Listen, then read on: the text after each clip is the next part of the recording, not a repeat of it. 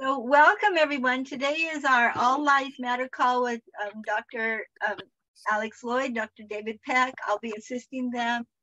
And uh, I want to share this disclaimer before we start. This presentation is for education and informational purposes only.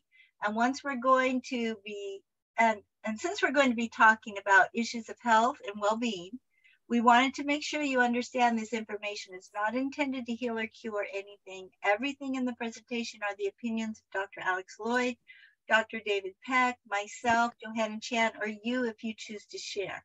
You should always check with a licensed healthcare provider about any specific health concerns you may have. All right, guys, take it away. Thank you, Johanna. Uh, the guy in the middle is Dr. David Peck. I'm Alex Loyd and we are trying to help a million to a billion people increase their emotional well-being by 100% or more. And we believe we can give you for free what you need to do that. Uh, i'm sorry i've got a, a, a, wet spot on my shirt. Um, I, uh, i'm kind of emotional. I just heard from a client who uh, just got back from the doctor and her um, Stage four met- metastatic breast cancer is completely gone, no trace. And um, so I'm a little I'm a little emotional. I'm sorry. Um, but anyway, the the topic for today, uh, we try to we try to talk a little bit about a life issue, and then we do a, a custom intervention uh, to heal those issues uh, and the and we do it right here on the call with you in real time. And all these calls are posted, so you can back and fi- go back and find ones that are for whatever issue uh, you're most interested in. But today we're going to talk a little bit about life vows. Um, Dave, you want me to start, or you want to start? Um, I guess I could start. Sure. Go ahead. Yeah. So, um, yeah, and I just just to start again, I just want to reiterate what Alex would say, I'm not counting the million or billion. My take on this is that, and this comes from Alex's writings, we have been programmed in a fear based way. And essentially, we're slaves to our emotions. And this is very much about spreading awareness so that we can be free from that emotional slavery. And these are the methods, these are the issues, these are the tools to use on these particular issues in order to get that freedom.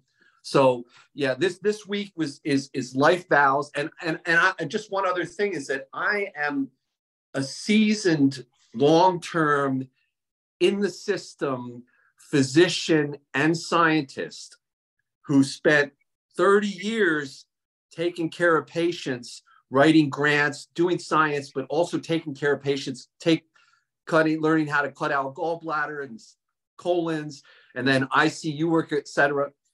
And I come to the other side because what I've realized is that, and and not to say, I mean, I have to be honest. I think from a medical stand, standpoint, we've totally missed the boat. Even when it comes to stress, like now we're we're we're stressing, stressing, stress more. But even the stress thing, it's not just don't go meditate just i mean just don't go you know try to relax more. Go to the source of the stress and heal the stress and get it over with. And that's what we're talking about. Amen. Okay so anyway the my life vow i've talked about this before.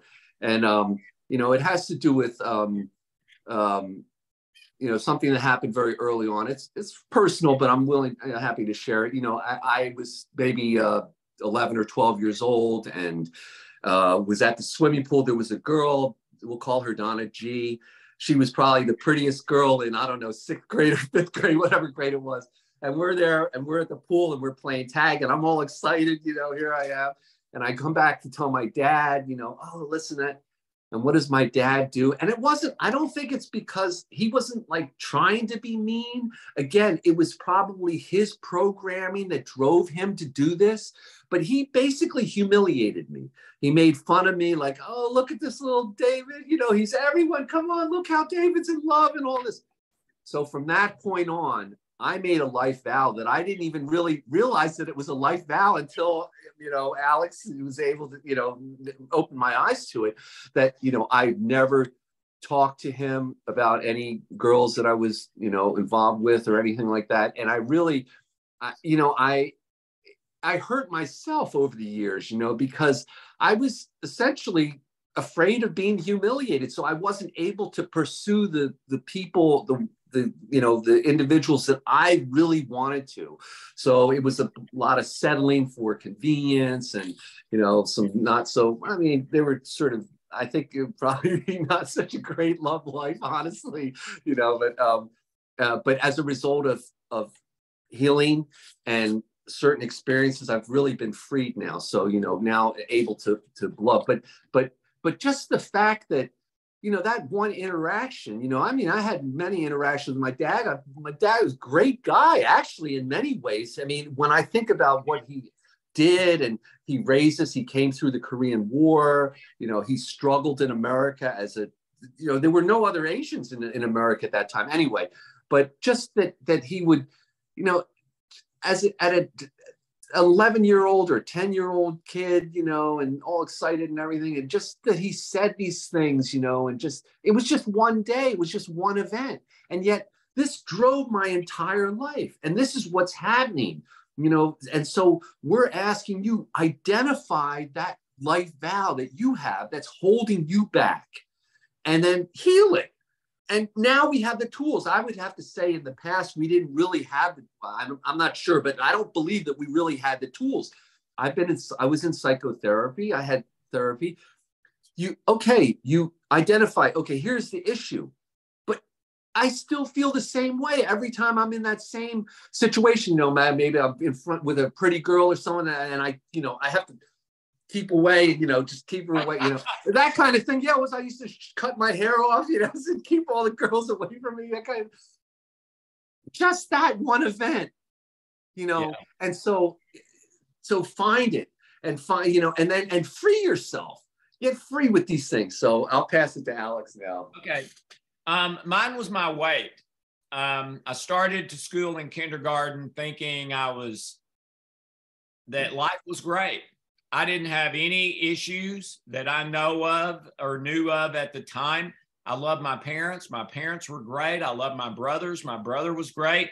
We weren't rich, but we were, you know, low middle class, middle class. So, you know, we weren't starving and we were rich to me. And then I go to school and I find out and I'm start and I start being made fun of for the very first time in my life. I've never experienced that before, being made fun of. And it was primarily about my weight.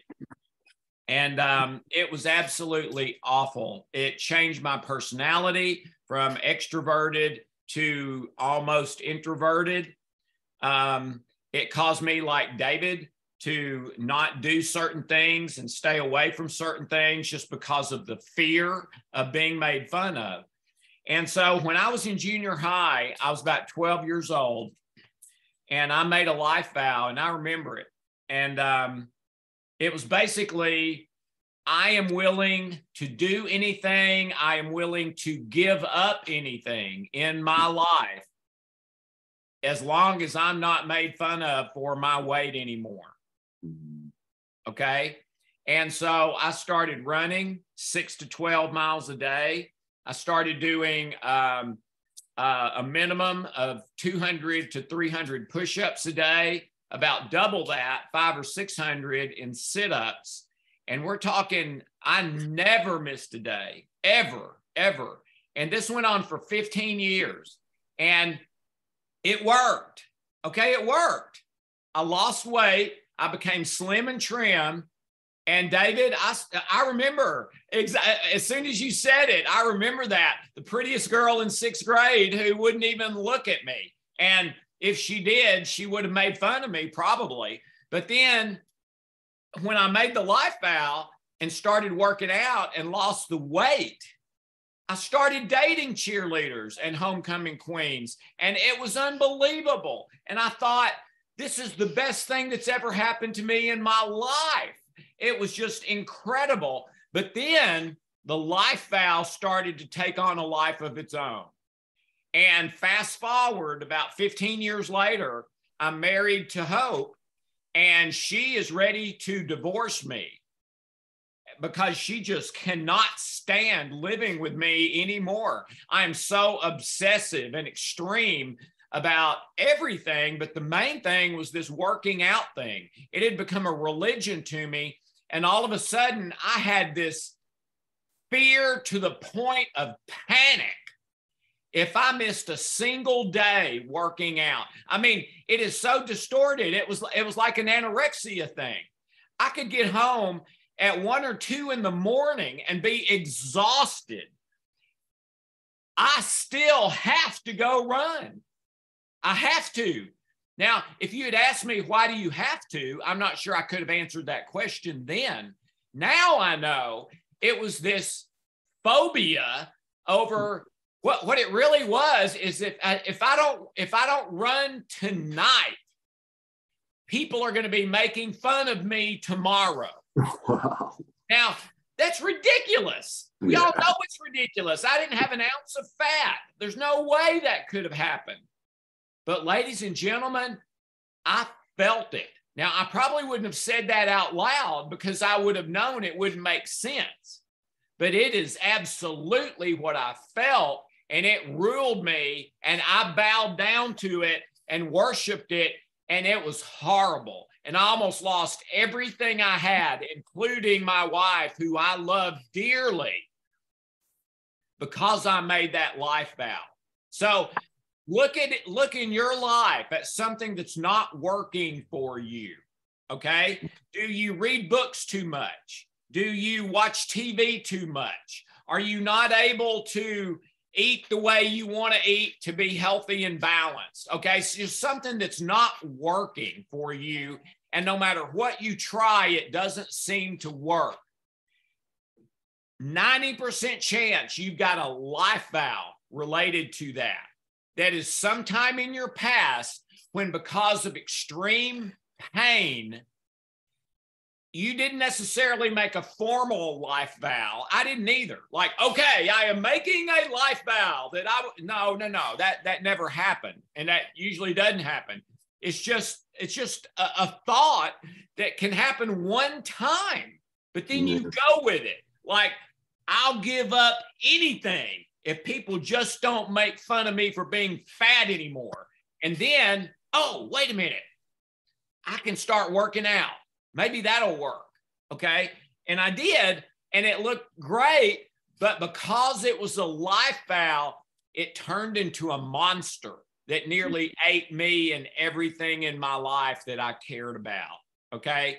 So if you've got something that you're not sure why can't I do this? Or why mm. can't I stop doing this?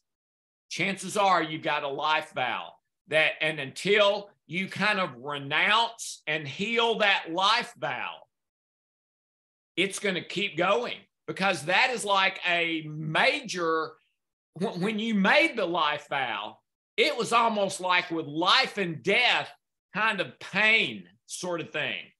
So once you make it, it is locked in until you intentionally renounce that and change it and then start living in balance. Okay. So, um, yeah. this, and, and, and the majority of people that I've worked with over all these years, more people than don't have a life vow and they mm-hmm. almost never know they have it. Okay. They just think, I just can't get that done, or I can't stop. David, what were you going to say? Yeah, no, I wanted to say this. It just I just thought of a, a parallel in that whereas you were you were driven to do something, in my case, I would make excuses. Right. Like, not that's Yes, but it, it was the same thing. I was avoiding, yeah. like, it was the opposite, but the same thing. Yeah. That's so. right. That's right. It can be either one. It can be doing something or not doing something, but it's not what you really want. It, it, it you're, you're, you're kind of making a deal with the devil, so to speak. Okay. Okay. Okay. I will give up if I can just have this. Okay. Well, brother, be careful because that deal may end up costing you everything like it almost did me until I renounced it in my in my late 20s And I made that life vow when I was like 12. Okay. So we're talking 15 years of my life ruled by that life vow. So, Dave, Mine lasted for 40 years. four, nine, 15. And, and, and, and, and a lot of my clients, it's their whole adult life. Okay. Right. And and and they'll be amazed. They'll they'll change that. And all of a sudden they can do it. The thing that they would never able to do before. And they're like, wow. That I mean, this seems easy, but I've tried for years. you know, well, it does seem easy once you find that life vow and renounce it, heal it, and then shift. So, Okay. hey, uh, Yeah. you want to do Yeah. uh, code Okay. or you want me to do it? I got, I can, I got a code for it. Okay. Yeah. Okay. okay. So we're going to, we pray, we request that all destructive negative cellular memories, unhealthy habits and addictions, false limiting beliefs, and all relationship issues related to any life vow that we made, that it be found, opened, and healed through love, light, truth, and God. Mm-hmm. Okay. In the first position is left hand temple, right hand Adam's apple for healing of life vows.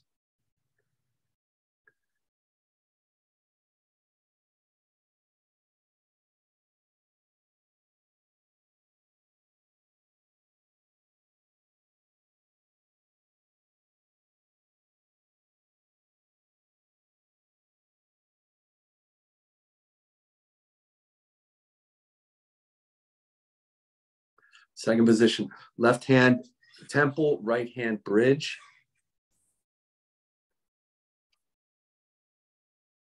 It's like brain sterilization. I love Yeah. that. Yeah.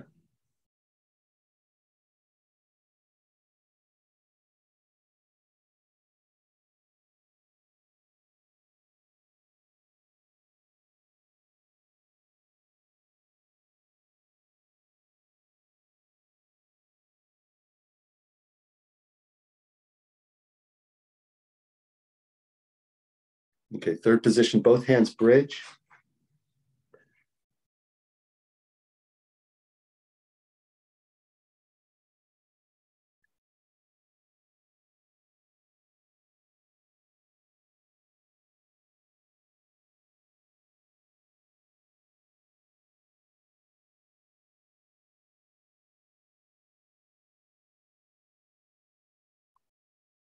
Okay, fourth position, both hands Adam's apple.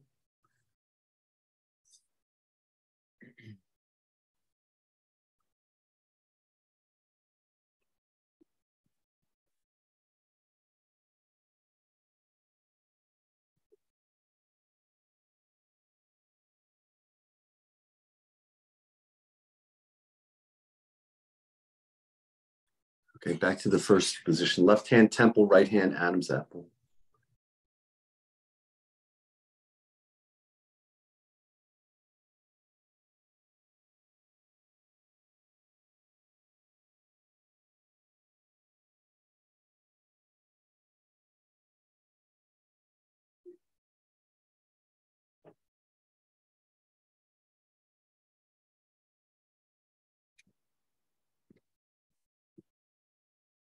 Okay, second position, left hand temple, right hand bridge.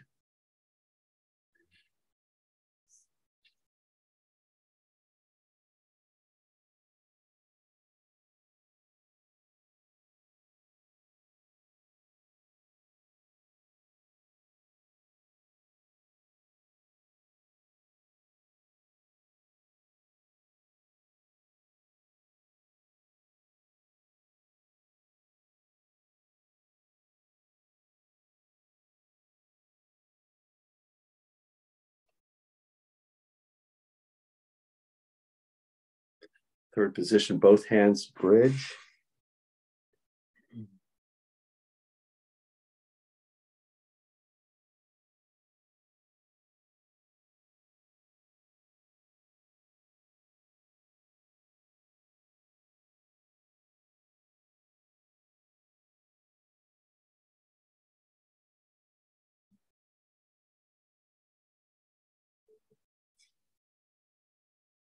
Okay, fourth position now. I made a mistake. It's both hands in the jaws position is the fourth position. I'm sorry about that. Fourth position is both hands jaws.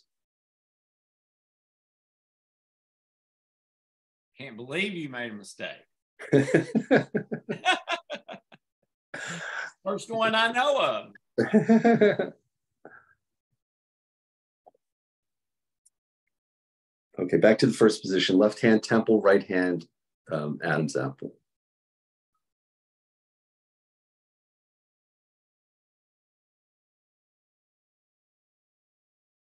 I need to say when I don't make a mistake. no, how. okay, that's good. That's two full cycles. Two full okay, cycles. let's go to uh, custom acupuncture points. Let's start with side of the hand. Pimples under the nose, little finger, collarbones, eyebrows, index finger, under the eyes, under the nipples, thumb, middle of the chest, under the eyes, under the arms, thumb, middle finger, sore spot, chin, 9G. Eyes open, closed, open, eyes down to the left, down to the right. Circle your eyes, circle back the other way.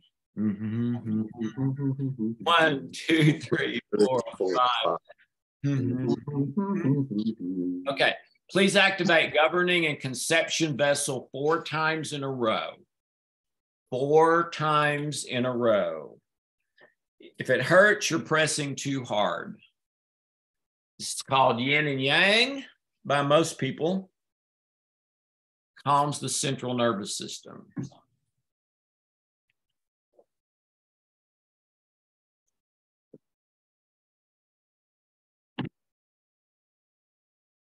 All right. Now, custom healing centers. Let's start with heart. Please open and harmonize.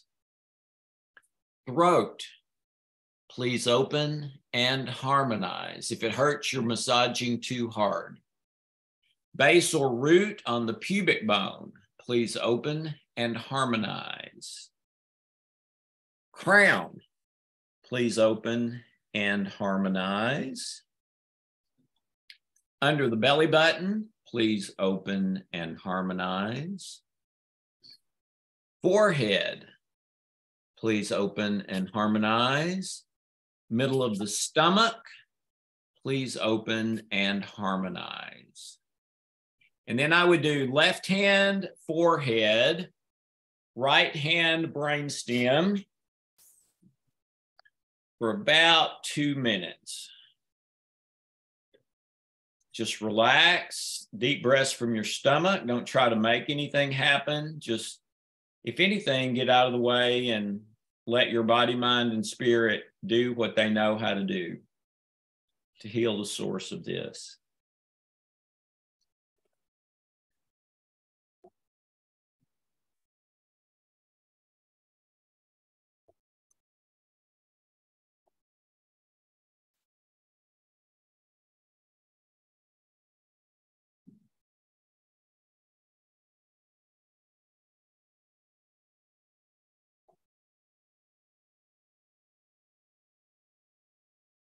Okay, both hands over the heart, slow, deep breaths, one after the other.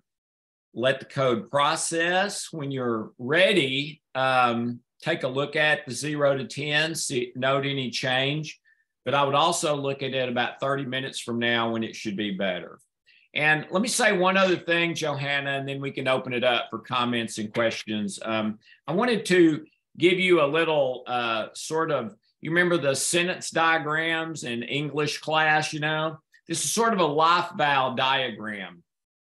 Here's kind of how life vow goes. I will give up blank if I can have blank. That's it. I will give up or do this if I can have this change in my life that is this. And, okay. and and would that be something like not being humiliated or not being yeah made fun of? Yeah, yeah, right. Yeah. If I can just not be humiliated again, right. I'm never speaking to my dad again about a girl. If I can just not be humiliated again. Uh yeah, yeah, that's a life vow. Absolutely. Okay, Johanna, do we have any comments, questions? Yes, we have one hand up, and if anyone on the phone call wants to uh, uh, share something or ask a question, press star nine on your phone, or you could type in a question if you're on the internet. So we're gonna open the line for April. Hi, April. Hey. Hi, I was looking for my unmute box. So yeah, I was just gonna give you one example from my life, and that was um, actually um, someone that was close to me, and um, they were they had a health issue, and there was a treatment. I or I or at least I believe this was a life vow. So they they were doing a treatment, and I guess they were tired, you know, and they were like, "I'm gonna give it six months," and it just kind of hit me when they said that and i was like i was thinking no six months or else what? Are you just gonna because it was you know this was like for their heart you know so that's why that's why i think it was a life and then they you know it was not long after that that they passed so yeah. that's why when we talk about the life vows i i tell people too i'm i'm like i just posted something on facebook i was like please let God choose. Yeah, that's right. Yeah, great comment, April. Thank you. All right, April. Anyone else? Um, let me see if we have any questions in the Q&A. I don't see any other hands up. Um, Susan is is suggesting, um, well, she says, love the life vows, Dr. Alex and Dr. David. They can lock us in when we may not even be aware of them or realize we've made that vow deep down or when very young. And may I offer grief and its impacts being the ah. theme for the All Lies Matter to come. Yeah. How about how about next week, Dave? Grief. Yeah. Yep. Yeah, Susan, next week, grief. Great, great, great suggestion. Yeah. Okay, and I don't see any other hands up. Oh, wait, yes, we do. Okay, hold on. Marilyn. Marilyn, your line, if you want to. Have I unmuted myself? There you yeah, are. I can hear you. Um, interesting doing the coding. I'm not aware of a life vow, but I felt anger coming up. So I think I must have one. I'm protecting it. Yeah. So, so what I would do I would say, okay, what have I been angry about in my life, especially early in my life, to the point that maybe you would think, man, I would do or give up almost anything if I just don't have to deal with this anymore. Yeah. See it, see if you can find something like that related yeah. to Thank you. That makes perfect sense. All right. And, and these things are amazing, guys, because I've seen so many people try things for three and four decades of their life. I mean, medications, supplements, meditation, all kinds of stuff. Nothing works. They find and resolve their life vow, and everything starts healing automatically. Amazing. Right. Okay, we have another April S. I'm gonna um, um We have two Aprils. yeah. We need. Uh, do we have two uh, Mays and June, June's, yeah. We call them the double A's. That's what you can name us. Um, so I'll be April too because April Gibson's been calling in longer than I have. So when you talk about life vows, are you is that the same as a heart vow when we have a Yes, heart vow? Yeah, uh, uh, and I- and I'll tell I tell you one that I I I believe is positive. Okay, I had a really close friend. Well, still is a really close friend. One of my closest friends for the last thirty years, and his daughter was a basketball player and was having really really bad chronic knee pain that they couldn't seem to fix. That was really affecting her ability to play which was really affecting her identity and worth and feeling good about herself and her life and all of that. So, anyway, my friend started praying intensely that God would take away her knee pain and give it to him. And um, and to me, that is a type of life vow. And sure enough, the next morning, his knee was killing him and she had no pain at all and and went out and played basketball like a star now his knee pain went away in about two weeks but for those two weeks he was limping around everywhere but to me that's that's a love life vow i mean he loved that other person so much he was mm-hmm. willing to say i will bear that for them Okay. So that can actually be a positive life vow. It's when it goes to the negative that it can really tie you up in knots and and you not be able to figure out how to get untied. Does that help any April S? Yeah, yeah, that's yeah, Okay. yeah. Yeah, Okay. because we do. We make our heart vows and they can be positive or negative. Yeah, absolutely. That's right. That's Yeah. right. So positive ones I'm all for, but Mhm. not not the negative. Okay. Well, thank you guys. Appreciate you. You're welcome. Thank you. Thank and you. um, and I'm gonna have to go. Uh, love all you. Alex, guys. Oh, just what the, the, what Yeah. determines whether it's positive or negative is that the intention behind it, or what I the think- goal is? Yeah. Well, I think I think to me, I think to me that boils down to first of all, is this healthy or not? Now, Mm. mine was unhealthy. but it was healthy friend- at the beginning. It was healthy at the well, well, to a degree.